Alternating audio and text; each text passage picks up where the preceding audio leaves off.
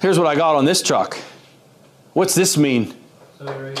yeah, somebody erased them. So I'm losing before I, I even began. Somebody was in here, cleared the codes.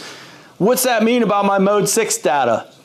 You ain't getting It's not going to be there. Let's let's do it, right? Generic functions. I'm going to follow the same path. Uh, onboard monitored system mode 6. Scrolling through the data. Uh, can't see the top ones. I'm missing 1 and 2. They were 0, 3, 4, 5, 6, 7, and 8. Look, all zeros. 0, 0, 0, 0. So if you wipe out the codes, what else are you wiping out?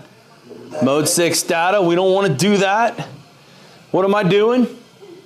pulling the fuse out for the ignition coils. I'm going to do the same thing. Okay, put my amp clamp around my jumper wire. I want to read all eight coils from the fuse box. I'm doing this one differently. I'm using a different sync this time.